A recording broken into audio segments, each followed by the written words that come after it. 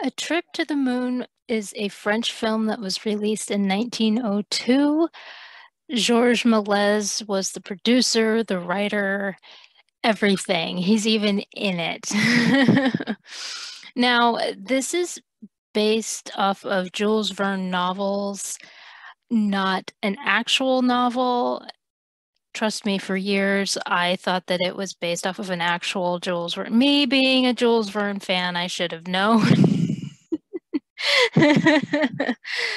no, um, but it's based off of the uh, futuristic uh, space uh, Jules Verne novels. And there's also the idea that it could be also based off of H.G. Wells' uh, novels, also. Now, this is um, an international success. Unfortunately, it was pirated by other studios. Here in America, the the the piracy was out of control with this one. This was such a success. Um, now, um, Edison pirated this thing and even had the audacity to say that it was his film. And because of that,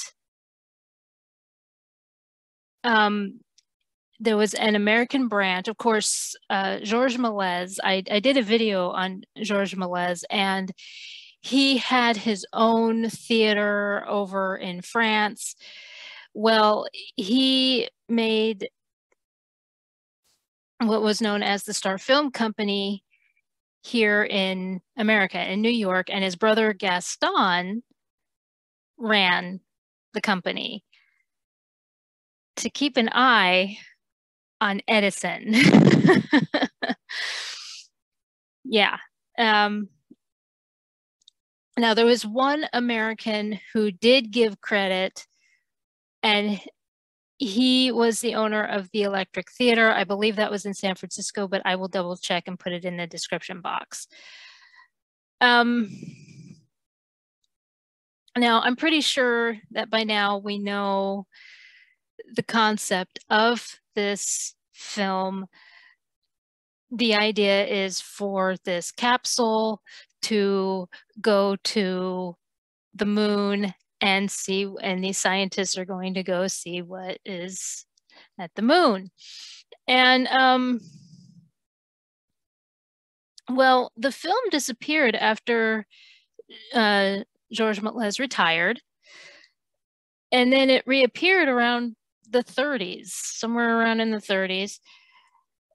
As it happens, the hand colored print uh, was discovered in 1993. I was in middle school at that time. I think I was in sixth grade at that point. Um, so there's two different, it's the black and white. The black and white was well known until uh, the early 90s when they suddenly discovered, and I couldn't find exactly how they discovered it. It just said, yeah, we found it. um, so if you know how they found it, I would love to know. Um, the capsule landing in the moon's eye, which by the way, that is Georges Méliès, who is the man in the moon the the bullet in the eye, um, which yes, the capsule looks like a bullet. uh, that is considered the most iconic scene in cinema history. And much of the cost for this film went to mechanical operated uh, scenery and to the costumes, which are amazing, by the way. I love these costumes.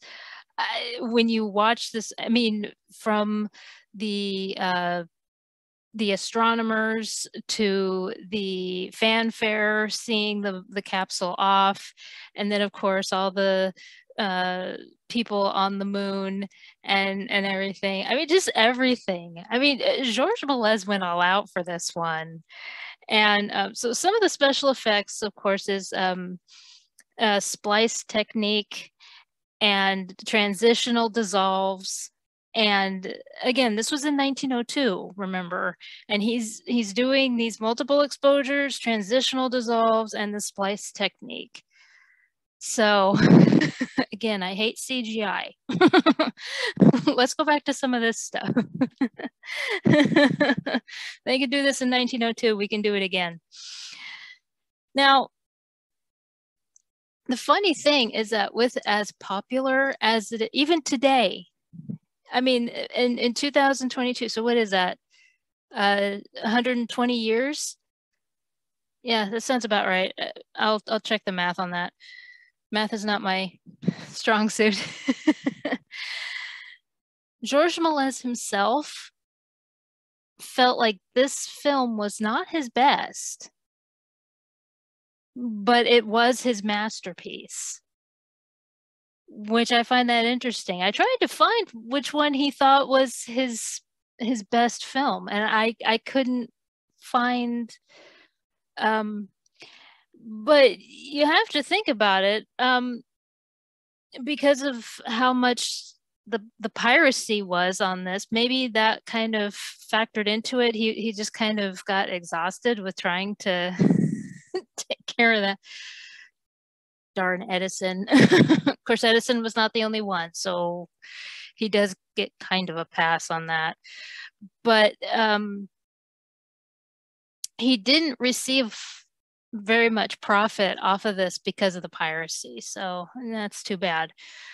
But um, I, I just find it hilarious that Edison tried to take full credit for this and that resulted in his in Méliès's brother uh, and them opening up a studio and then Gaston basically watching like a hawk. oh, good heavens. You know, well, that's for another time. Anyway, so A Trip to the Moon.